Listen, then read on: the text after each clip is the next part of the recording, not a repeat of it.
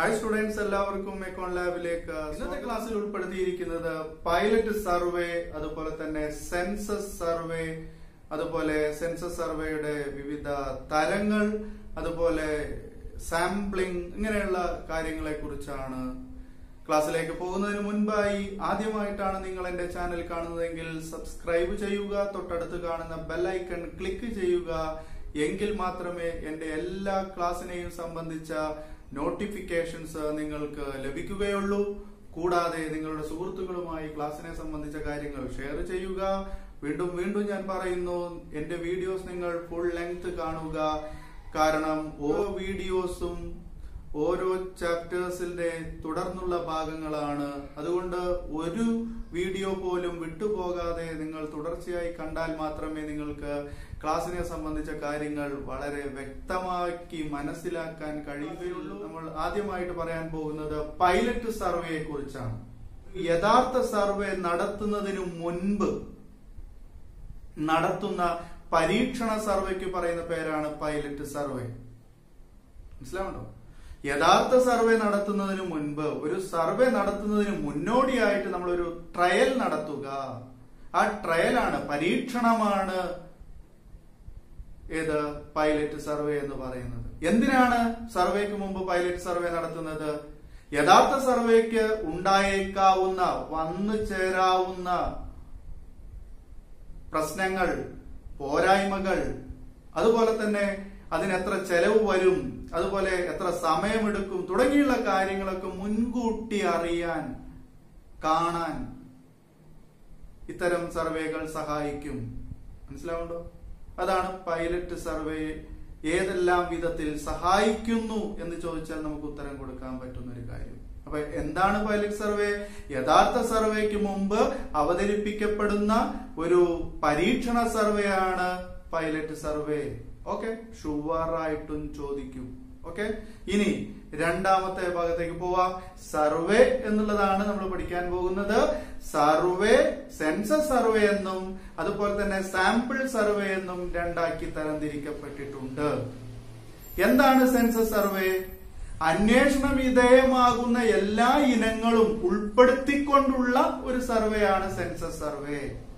അതായത് നിങ്ങൾ ഏത് വിവരത്തെ കുറിച്ചാണോ പഠിക്കാൻ ഉദ്ദേശിക്കുന്നത്? അല്ലെങ്കിൽ ഏത് വിഷയത്തെ കുറിച്ചാണ് നിങ്ങൾ പഠിക്കാൻ ഉദ്ദേശിക്കുന്നത്? ആ വിഷയത്തെ മുഴുവനായിട്ടും ഉൾപ്പെടുത്തിയാണ് നമ്മൾ പഠന വിധേയമാക്കുന്നതെങ്കിൽ അത്തരം സർവേക്ക് പറയുന്ന പേരാണ് സെൻസസ് സർവേ. ഓക്കെ? ഏറ്റവും നല്ലൊരു എക്സാമ്പിൾ പറഞ്ഞുതരാം. ഇന്ത്യയിൽ ഓരോ പത്ത് വർഷം കൂടുമ്പോഴും നടത്തപ്പെടുന്ന ജനസംഖ്യ കണക്കെടുപ്പ്. അത് സെൻസസ് സർവേക്ക് ഉദാഹരണമാണ്. സെൻസസ് നമ്മളെ വീട് വീടുകളിലൊക്കെ ഇങ്ങനെ സെൻസസ് എടുക്കാൻ ആളുകൾ വരാറുണ്ടല്ലോ അല്ലെ? അപ്പോ അതെന്താണ്? മുഴുവനായിട്ടുള്ള കണക്കാണ് അവരെടുക്കുന്നത് കണ്ടോ? അപ്പോ അന്വേഷണ വിധേയമാകുന്ന അല്ലെങ്കിൽ അന്വേഷണ വിധേയമാക്കുന്ന എല്ലാ വസ്തുക്കളെയും ഉൾപ്പെടുത്തിക്കൊണ്ട് എല്ലാ ഇനങ്ങളും ഉൾപ്പെടുത്തിക്കൊണ്ടുള്ള ഒരു സർവേ ആണ് സെൻസസ് സർവേ. നേരെ മറിച്ച് സാമ്പിൾ സർവേ അല്ലെങ്കിൽ സാമ്പിളിംഗ് എന്ന് പറഞ്ഞാൽ അത് നമ്മൾ ആ പേരിൽ തന്നെ ഉണ്ട്. സാമ്പിൾ ആണ്. അല്ലെ? അപ്പൊ നമ്മൾ എന്തെങ്കിലും ഒരു സംഗതി വാങ്ങാൻ കടയിൽ പോയി കഴിഞ്ഞാൽ നമ്മൾ സാമ്പിൾ ഉണ്ടോ? സാമ്പിൾ നോക്കട്ടെ. അല്ലെങ്കിൽ സാമ്പിൾ നോക്കൂ എന്ന് കടക്കാരൻ നമ്മോട് പറയാം. അല്ലെ? അത് സാമ്പിൾ. എങ്ങനെയാണ് സാമ്പിൾ സർവേ? അതായത് പോപ്പുലേഷന്റെ ഒരു ഭാഗമോ അല്ലെങ്കിൽ ഒരു ഉപഗണമോ ഉപ ഉപയോഗിച്ചുകൊണ്ട് മാത്രം നടത്തുന്ന സർവേയാണ് ഏത്? സാമ്പിളിംഗ് അഥവാ സാമ്പിൾ സർവേ. എങ്ങനെയാണ്? പോപ്പുലേഷൻ അതായത് അന്വേഷണ വിധേയമാക്കാൻ ഉദ്ദേശിക്കുന്ന ആ ഇനങ്ങളിൽ നിന്ന് അതിന്റെ ഒരു ഗണം അതിന്റെ ഒരു ഭാഗം ഒരു പെടുത്തിക്കൊണ്ട് അതിനെ കുറിച്ചും മാത്രം അവയെ മാത്രം എടുത്ത് നമ്മൾ എന്ത് ചെയ്യുക? ഒരു സർവേ നടത്തുകയാണെങ്കിൽ അതാണ് സാമ്പിൾ സർവേ അഥവാ സാമ്പിളിംഗ്. അല്ലെ? അതുകൊണ്ട് തന്നെ ഈ സാമ്പിൾ എപ്പോഴും പോപ്പുലേഷനേക്കാൾ വളരെ ചെറുതായിരിക്കും. ശരിയല്ലേ? പോപ്പുലേഷൻ എന്ന് പറഞ്ഞത് മുഴുവനായിട്ടുള്ളതാണ്. ആ മുഴുവനായിട്ടുള്ളതിൽ നിന്ന് നമ്മൾ എന്ത് ചെയ്യുന്നു? നമുക്ക് ഇണങ്ങുന്ന രീതിയിൽ നമുക്ക് അതിന്റെ ഒരു ഭാഗം ഒരു ചെറിയ ഭാഗം നമ്മൾ ഇങ്ങോട്ട് എടുക്കുകയാണ്. എന്നിട്ട് അതിനെ കുറിച്ചാണ് നമ്മൾ പഠിക്കുന്നത്. അപ്പൊ നമ്മൾ സങ്കല്പിക്കുകയാണ് ഇതിനെ കുറിച്ച് ഈ സാമ്പിളായിട്ട് എടുത്ത ഈ വസ്തു തന്നെ ആയിരിക്കും വസ്തുവിന്റെ പ്രത്യേകതകൾ തന്നെ ആയിരിക്കും ആ എല്ലാത്തിനും ഉണ്ടാവുക എന്ന് നമ്മൾ സങ്കല്പിക്കും. അതാണ് ഈ സാമ്പിൾ സർവേയുടെ പ്രത്യേകത. അല്ലെ? ഇപ്പൊ നമ്മൾ ചോറ് വേവ് നോക്കുന്നത് എങ്ങനെയാ? അത് കുറച്ച് എടുത്തിട്ട് ഒന്നോ രണ്ടോ ചോറ് ഇങ്ങനെ നമ്മൾ എന്ത് ചെയ്യും? നേരടി നോക്കും. അല്ലെ? അത് സാമ്പിളാണ് മനസ്സിലായില്ലേ? അപ്പൊ ആ രീതിയിൽ അപ്പൊ ഈ സാമ്പിളിന്റെ ഒരു പ്രത്യേകത എന്താണെന്നറിയോ? എന്താണ്? സാമ്പിൾ കൃത്യവും വിശ്വസനീയവുമായ വിവരങ്ങളാണ് നൽകുന്നത്. ചോദ്യങ്ങൾ അങ്ങനെ ഒന്ന് നമുക്കൊന്ന് പ്രതീക്ഷിച്ചൂടെ? പ്രതീക്ഷിക്കാം. എങ്ങനെ പ്രതീക്ഷിക്കാം? അതായത് കൃത്യവും വിശ്വസനീയവുമായ വിവരങ്ങൾ നൽകുന്ന ഒരു സർവേ രീതിയാണ് ഏത്? സാമ്പിൾ സർവേ രീതി അഥവാ സാമ്പിളിംഗ് രണ്ട് കാര്യങ്ങൾ പറഞ്ഞു. സെൻസസ് സർവേ രണ്ട് തരമുണ്ട്. ഏതൊക്കെയാണത്? ഒന്ന് റാൻഡം സാമ്പിളിംഗ് ആണ്. രണ്ടാമത്തത് നോൺ റാൻഡം സാമ്പിളിംഗ് ആണ്. എന്താണ് റാൻഡം സാമ്പിളിംഗ് നോക്കാം. അതായത് പോപ്പുലേഷനിലെ ഓരോ അംഗത്തിനും തുല്യ പ്രാധാന്യം നൽകുന്ന സർവേയാണ് ഏത്? റാൻഡം സാമ്പിളിംഗ് അല്ലെ? അതിങ്ങനെ റാൻഡമിക് ആണ് ഒന്ന് രണ്ട് മൂന്ന് നാല് അത് തുടർച്ചയായിട്ട് പോകും. മനസ്സിലാവണ്ടോ? ആ എണ്ണൽ തുടർച്ചയായിട്ട് നടക്കും. അപ്പൊ നമ്മളോട് ഇങ്ങനെ ക്ലാസ്സിൽ ചോദ്യങ്ങൾ ചോദിക്കുമ്പോ ഒരു ബെഞ്ച് ഒന്നാമത്തെ വ്യക്തിയിൽ നിന്ന് ചോദിച്ചാൽ രണ്ടാമത്തെ തുടർന്നുള്ള അതാ തൊട്ടടുത്തുള്ള ആളുകളോട് ഇങ്ങനെ തുടർന്ന് തുടർന്ന് ചോദിച്ചു പോകും. അത് റാൻഡം സാമ്പിൾ രീതിയാണ്. അല്ലെങ്കിൽ റാൻഡം സാമ്പിളിംഗ് ആണ്. മനസ്സിലാവുണ്ടോ എങ്ങനെയാ പറഞ്ഞത്? പോപ്പുലേഷനിലെ ഓരോ ഇനത്തിനും ഓരോ അംഗത്തിനും തുല്യ പ്രാധാന്യമുണ്ട്. എന്നോട് ചോദിച്ചാൽ തൊട്ടടുത്തിരിക്കുന്ന ആളോട് ചോദിക്കും. അയാളോട് ചോദിച്ചാൽ അപ്പുറത്തുള്ള ആളോട് ചോദിക്കും. തുല്യ പ്രാധാന്യമുണ്ട്. അതാണ് ഏത്? റാൻഡം സാമ്പിളിംഗ് എന്ന് പറയുന്നത്. ഈ റാൻഡം സാമ്പിളിംഗ് രണ്ട് തരം കിട്ടും. ഏതൊക്കെയാണത്?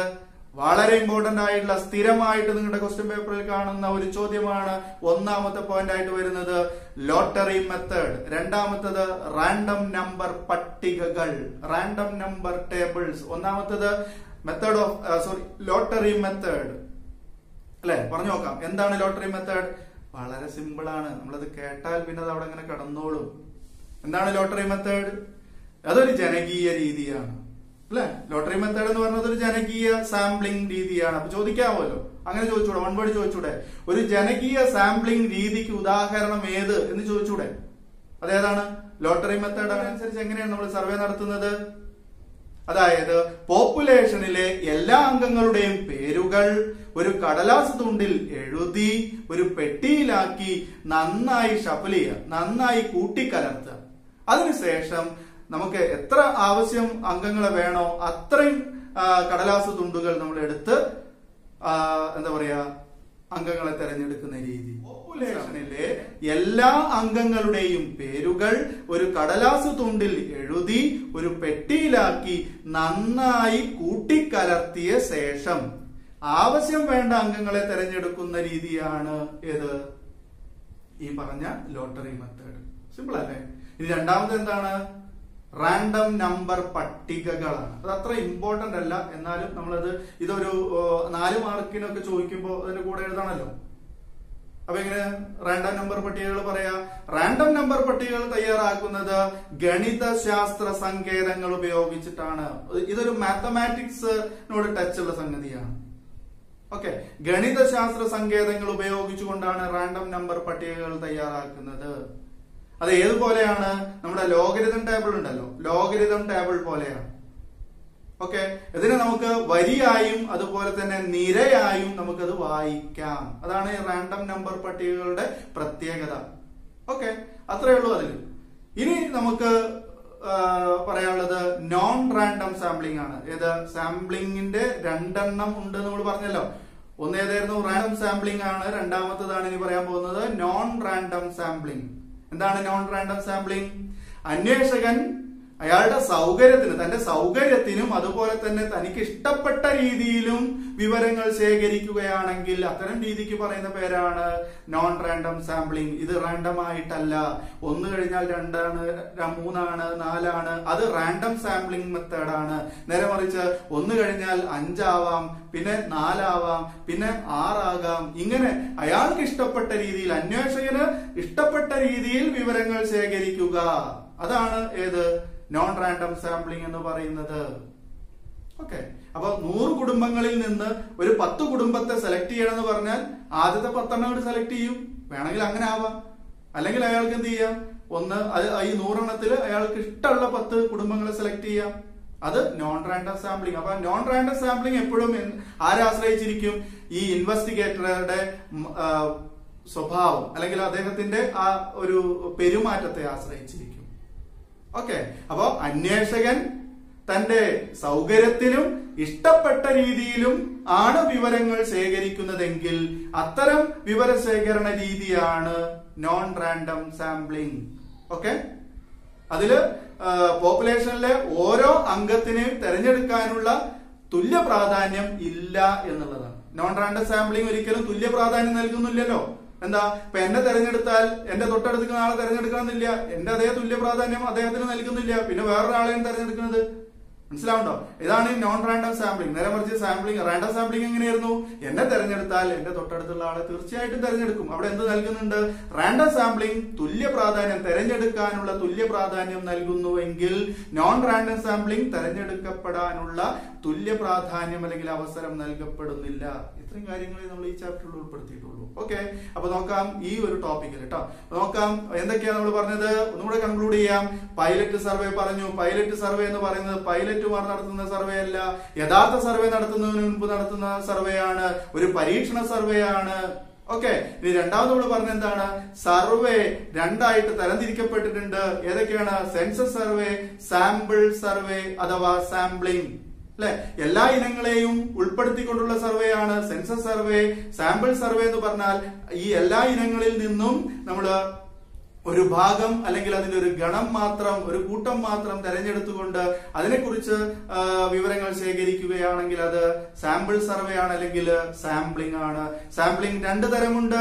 റാൻഡം സാമ്പിളിംഗ് അതുപോലെ തന്നെ നോൺ റാൻഡം സാമ്പിളിംഗ് എന്താണ് റാൻഡം സാമ്പിളിംഗ് റാൻഡം സാമ്പിളിംഗ് എന്ന് പറയുന്നത് എല്ലാ ഇനങ്ങൾക്കും പോപ്പുലേഷനിലെ എല്ലാ ഇനങ്ങൾക്കും തുല്യ പ്രാധാന്യം നൽകിക്കൊണ്ടുള്ള ഒരു സർവേ ആണ് റാൻഡം സാമ്പിളിംഗ് എന്ന് പറയുന്നത്.